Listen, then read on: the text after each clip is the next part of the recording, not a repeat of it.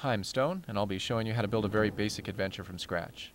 From the Galaxy screen, click Galactic Adventures, click the Create New Adventure button, and you'll see several planets you can choose from for a starting planet.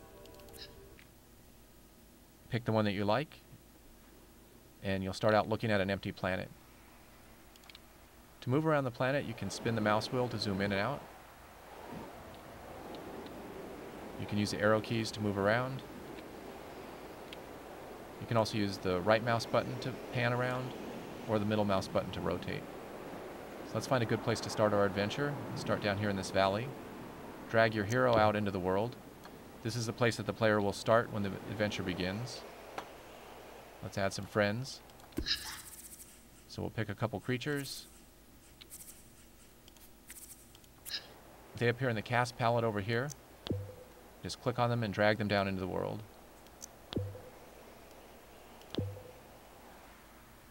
You can rotate a creature to pick its starting facing. You can also pull this handle here to determine their wander radius, how far they'll walk around on the planet surface. Hold down shift and spin the mouse wheel and you can make giant sized monsters or tiny babies.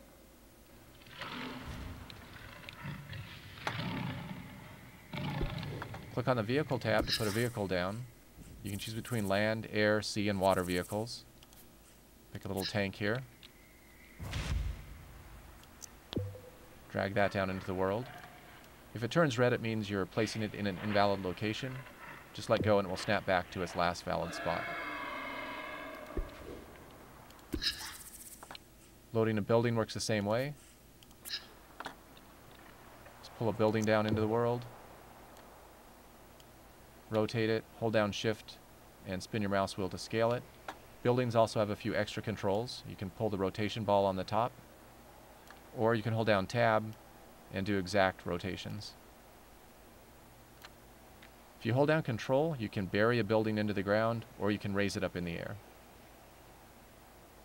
If you make a mistake, just hit the undo button or the redo button.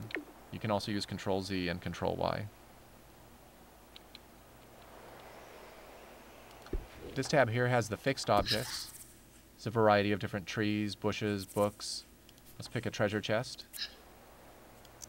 We'll add a treasure chest over here by the building. Shrink it down a little bit.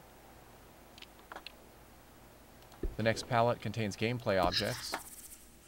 These are things like gates, keys, bombs, red barrels. I'm going to add a jump pad. Drag it down into the world. There's also audio and video effects. I'm going to pick some arena applause. Put it over here by the treasure chest so the audience will cheer me on when I move to the treasure.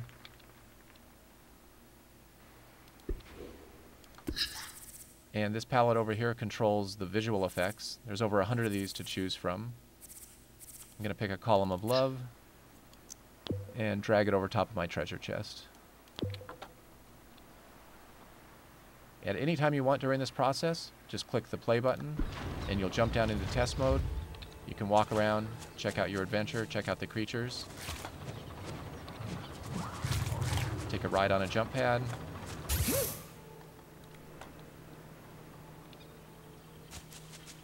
And go find some treasure.